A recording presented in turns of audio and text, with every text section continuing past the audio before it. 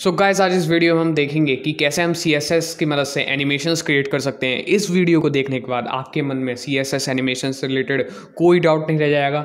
हम इस वीडियो में बिल्कुल बेसिक से स्टार्ट करेंगे और स्टेप बाय स्टेप सारे टॉपिक सी एस एनिमेशन से जो रिलेटेड हैं उन्हें कवर करेंगे।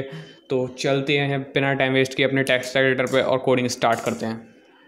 तो गाइज़ यहाँ पे हम आ गए हैं अपने वी कोड में। यहाँ पे मैं बॉयलर प्लेट डाल के स्टार्ट करता हूँ और यहाँ सी एस एस एनिमेशन हम इसे टाइटल दे देते हैं। और फिर मैं यहाँ एक डिप बनाऊँगा और उससे हम क्लास दे देंगे बॉक्स तो हमारा ये जो डिव है, हम इसी में सारी एनिमेशन अप्लाई करके देखेंगे, इसी के ऊपर। तो हम यहाँ इस बॉक्स को विथ दे देते हैं सेवेंटी पिक्सल और इसको हाइट दे देंगे हम सेवन हंड्रेड पिक्सल और फिर हम इसे देंगे इसके बाद बैकग्राउंड कलर तो बैकग्राउंड कलर आई थिंक सही रहेगा रेड और अब गाइज़ यहाँ पे हम सी एस एस को लिंक करके ओपन विद लाइव सर्वर कर लेते हैं। यहाँ हमने करी सी एस एस लिंक और ये ओपन विद लाइव सर्वर तो ये हमारा बॉक्स आ गया है। अब हम कुछ इस टाइप की एनिमेशन चाहते हैं कि हमारा ये जो बॉक्स है, ये लेफ़्ट से राइट में चला जाए और जब ये ऐसा करे तो बीच में इसका कलर कुछ और हो और राइट में इसका कलर कुछ और हो। तो इसके लिए हमने सबसे पहले एनिमेशन क्रिएट करनी होगी क्री फ्रेम की फ्रेम रूल की मदद से। तो ये जो रूल है की फ्रेम रूल इसी से हम एनिमेशन पहले सबसे तो क्रिएट करेंगे, फिर हम उस एनिमेशन को नाम देंगे और ऊपर उसे बाइंड कर देंगे। हमने इसे नाम दिया मूव और जब हमारी एनिमेशन ज़ीरो परसेंट पे हो तो हम चाहते हैं कि ये जो जो भी हमारा एलिमेंट हो उसका मार्जिन लेफ़्ट हो ज़ीरो पिक्सल और उसका हो बैकग्राउंड कलर जो हो, वो हो बैकग्राउंड कलर दे देते हैं रेड ही ठीक है, या फिर रॉयल ब्लू दे देते हैं। और जब हमारा एनिमेशन फिफ्टी परसेंट पर हो, यानी हाफ़ हो चुकी हो तो उसका जो बैकग्राउंड कलर है, वो हो जाए उसका सेलमोन सेलमोन भाई बन जाए।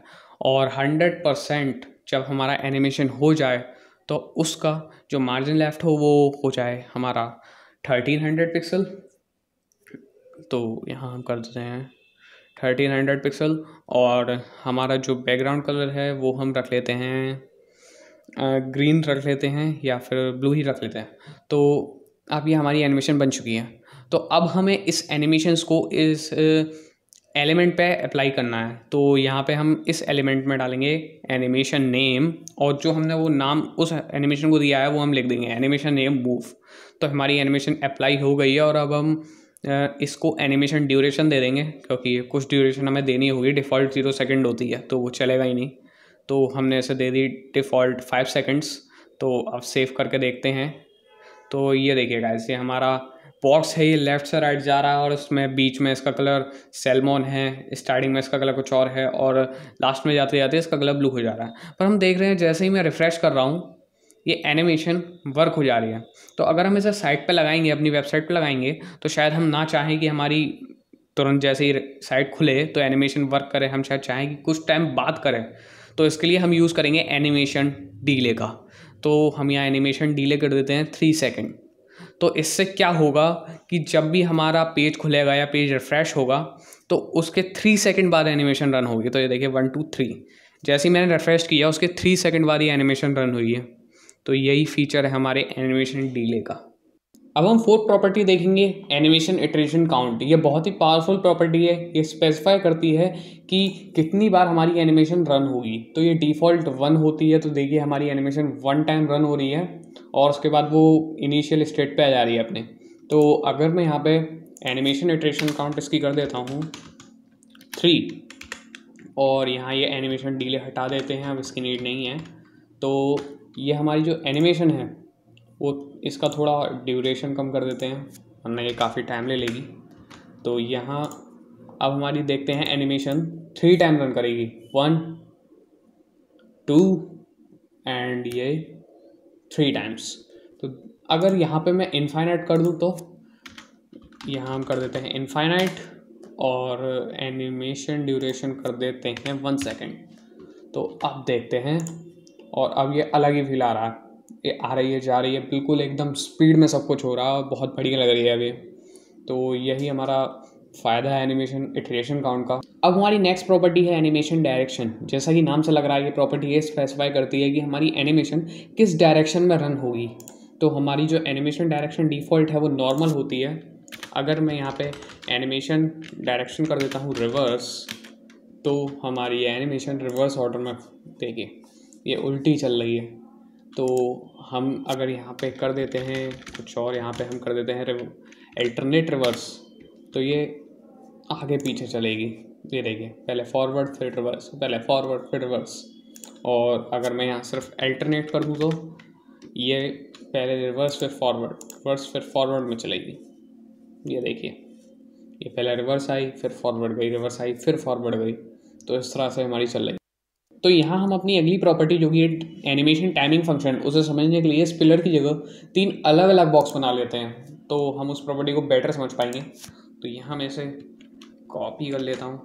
फिर यहाँ पे हमने किया पेस्ट और एक और बार कर देंगे इसे पेस्ट और इन तीनों बॉक्सेस को हम अलग अलग आईडी दे देते हैं ताकि हम इन पे अलग अलग प्रॉपर्टी लगा पाएँ। इसको हम आईडी दे देंगे बी टू और इसको हम आईडी दे देते हैं बी थ्री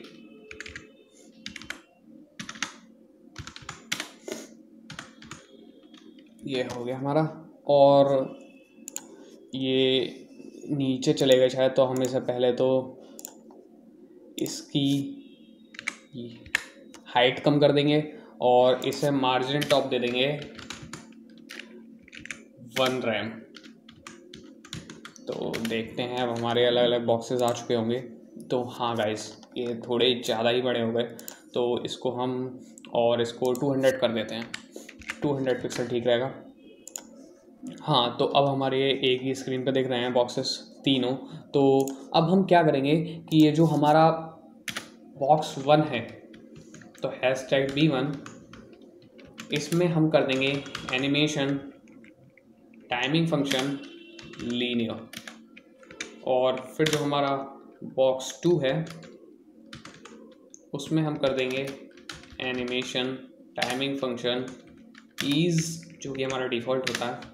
और फिर हम बी थ्री में कर देंगे animation timing function ease in out तो यहाँ आप देख रहे हैं कि इन तीनों की स्पीड अलग अलग हो गई है तो यही वर्क करता है एनिमेशन टाइमिंग फ़ंक्शन वो स्पेसिफाई करता है कि हमारी जो एनिमेशन है, उसकी स्पीड क्या होगी। हमारा ये जो टाइमिंग फ़ंक्शन है, इसमें हम और भी वैल्यूज़ ऐड कर सकते हैं, जैसे कि हमने ईज़ करके देख ली ईज़ इन आउट कर ली लीनियर कर ली, इसमें ईज़ इन और ईज़ आउट और एक क्यूबिक बीजर और होती है, जो कि हमें अपनी डिफ़ॉल्ट स्पीड सेट करने में हेल्प करती है। तो आपको ये सब रटने की बिल्कुल ज़रूरत नहीं है। मैं आपको डिस्क्रिप्शन में एक पीडीएफ की लिंक दे दूँगा, जिसमें कि ये सारी प्रॉपर्टीज़ लिखी होंगी और उसकी डेफिनेशन भी होंगी तो आप ज़रूरत पड़ने पर उस पीडीएफ में देख सकते हैं वो। अब हम अपनी अगली प्रॉपर्टी देखते हैं एनिमेशन फ़िल्म मोड तो उसका क्या यूज़ है? हम यहाँ पे देख रहे हैं कि हमारी ये एनिमेशन हो रही है और जब ये वापस मतलब एनिमेशन पूरी हो जा रही है तो हमारे ये सभी बॉक्सेस अपनी इनिशियल स्टेट पे आ जा रहे हैं। अभी मैं इसका ये हटा देता हूँ ये वाली प्रॉपर्टी और ये एनिमेशन ड्यूरे भी थ्री सेकंड कर देता हूँ। तो हम ये देख रहे हैं, हमारी ये सपोज़ एनिमेशन हुई हुई हुई हुई और ये कंप्लीट हुई तो हमारे सारे बॉक्सेस अपनी इनिशियल स्टेट में आ गए जो हमने डिफ़ॉल्ट स्टाइल सेट कर रखी है। तो हमारा एनिमेशन जो फिल मोड है, वो ये स्पेसिफाई करता है कि वो अगर हम यहाँ पे, अगर मैं प्रैक्टिकली आपको समझाऊँ, यहाँ पे मैं अगर फॉरवर्ड कर दूँगा और देखते हैं आप। तो ये एनिमेशन हमारी हुई और ये जो हमारी बॉक्सेस हैं, ये जो हमने हंड्रेड परसेंट पे जो स्टाइलिंग सेट करी थी इसकी हंड्रेड परसेंट पे मार्जिन लेफ़्ट और बैकग्राउंड कलर तो वो एंड में भी वही स्टाइलिंग रही। तो यही फ़ंक्शन हमारे एनिमेशन फ़िल्म मोड का। अब हमारी अगली प्रॉपर्टी है एनिमेशन शॉर्ट हैंड प्रॉपर्टी तो इस प्रॉपर्टी की मदद से अब तक हमने जितनी भी प्रॉपर्टी सीखी हैं, वो सब हम सिंगल लाइन ऑफ़ कोड से अप्लाई कर सकते हैं। तो देखेंगे इसे। अगर मैं इन सबको हटा दूँ एनिमेशन नेम ड्यूरेशन इन सबको मैं हटा देता हूँ और यहाँ पे मैं सिर्फ़ कर लूँगा एनिमेशन डाल दूँगा। इसको मैंने हटाया और यहाँ मैं कर लूँगा एनिमेशन तो यहाँ देखिए अपने आप वी कोड ने दिखा दिया कि यहाँ पे मैं नेम डाल सकता हूँ ड्यूरेशन ये पूरा सिंगल लाइन ऑफ़ कोड में मैं सारी प्रॉपर्टी यूज़ कर सकता हूँ। तो मैं यहाँ पे नेम डाल दूँगा मूव और यहाँ हम ड्यूरेशन दे देते हैं इसे थ्री सेकेंड टाइमिंग फ़ंक्शन दे देते हैं. इसको हम लीनियर और डिले कर देते हैं two second iteration count infinite direction reverse करके देख लेते हैं और फिल मोड कर देते हैं हम बैकवर्ड्स तो देखते हैं क्या वर्क कर रही है हमारी एनिमेशन तो यस ये हमारी परफेक्टली वर्क कर रही है। जितनी भी हमने प्रॉपर्टी लगाई है सिंगल लाइन ऑफ़ कोड से सब वर्क कर रही है। तो इसीलिए प्रॉपर्टी बहुत ही ज़्यादा यूज़फुल है एनिमेशन तो गाइज़ यहाँ पे हमने सी एस एस एनिमेशन से जितनी भी रिलेटेड प्रॉपर्टी थी, सब सीख ली हैं। पर हमने उसमें जितनी वैल्यूज़ हो सकती थी, वो सब डाल के नहीं देखी हैं। तो अब आपका टास्क ये है कि नीचे जो मैं पीडीएफ की लिंक दूँगा, उसमें से आप सारी वो वैल्यूज़ देखें और सभी प्रॉपर्टीज़ में सब डाल डाल के प्रैक्टिस करके देखें। तो बाय गाइस मिलते हैं किसी और वीडियो में. Happy coding